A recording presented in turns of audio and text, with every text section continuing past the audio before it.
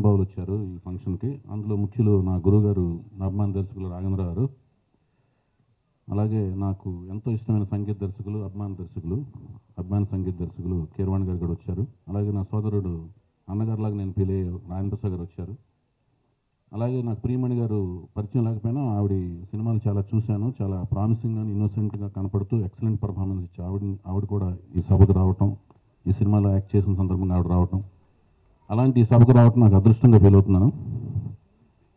నాకు ఈ అదృష్టాన్ని అవకాశాన్ని కల్పించింది స్వర్గీయ నందమూరి తారక రామారావు గారి దివ్యమోహన్ రూపం. ఆయన దివ్యమోహన్ రూపం సినిమా వైపు నడిపించింది నాకు సినిమా వైపు పిచ్చి చేసింది సినిమా దర్శకుడిగా మారాను.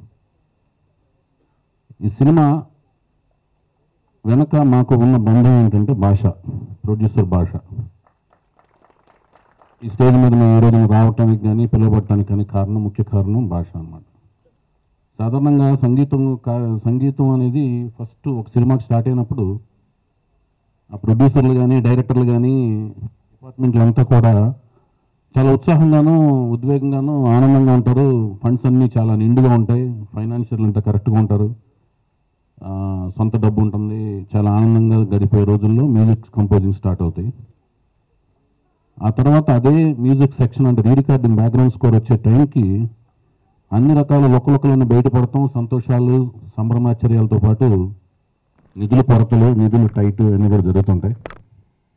ఈ రెండు దశల్ని బాగా క్షుణ్ణంగా ప్రతిక్షణం అనుభవించాడు. ఎందుకంటే కీరవాణి గారి దగ్గర అంటే నెంబర్ ఆఫ్ ఫిలిమ్స్ ఆయన చేసిన రోజుల్లో అద్భుతంగా ఆయన దగ్గర ఉన్న భాషకి ఇన్ని కష్టాలన్నీ తెలిసి వాటిలో సుఖాలను మాత్రమే చూసి ప్రొడ్యూసర్ అయినందుకు ఆ కళామతలు ఆయనకి ఇలాంటి ఒక ఒక ఆకర్షణ కలిగించినందుకు నాకు ఆనందంగా ఉంది. ఎందుకంటే సినిమా అనేది సినిమా పిచ్చి పడతాం కానీ సినిమా రంగంలోకి వచ్చి ఏ డిపార్ట్మెంట్లో రాణించాలని తాపత్రపడినా అది అదృష్టం కింద భావిస్తాను నేను ఇప్పుడు సో అలాంటి భాషకి తన మొదటి ప్రయత్నం సిరివెన్నెల చిత్రం.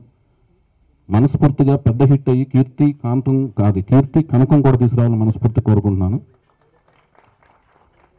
సిరివెన్నెల అనగానే సిరివెన్నెల అనగానే మనకి గుర్తుండిపోయేటట్టుగా ఒక రికగ్నైజ్డ్ సినిమా సినిమా ప్రేక్షకులు సినిమా లవర్స్ అందరికీ సిరివెన్నెల పదం అనేది మర్చిపోలేరు. అలాగే సాహిత్యపరంగా ఆయన ఇంటి పేరు అయిపోయింది సీతారాం శాస్త్రి గారి ఇంటి పేరు అయిపోయి అది చాలా పాపులర్ ప్రాముఖ్యం సాధించుకుంది సంతరించుకుంది. అలాంటి సిరివెన్నెల పదంతో తన ప్రొడ్యూసర్గా తన కెరీర్ స్టార్ట్ చేయడం నాకు అదృష్టం కింద ఫీల్ అవుతున్నాను. ఈ సినిమాలో యాక్ట్ చేసిన ప్రియమణి గారికి అలాగే దర్శకుడు ప్రకాష్కి వీళ్ళందరూ కూడా I wish them all good luck